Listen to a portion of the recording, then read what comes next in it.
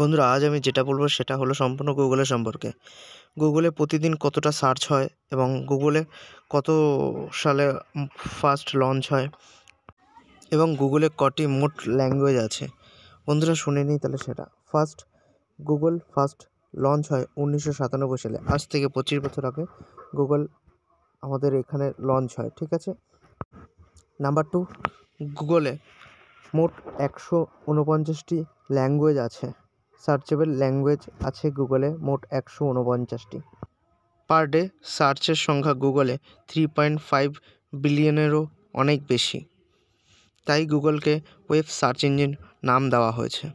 বন্ধুরা ভিডিওটা ভালো লাগলে অবশ্যই বন্ধুরা like and share and subscribe অবশ্যই করবেন। আপনারা যদি জেনে থাকেন এই তিনটি কথা তাহলে অবশ্যই কমেন্টে আমাকে বলবেন।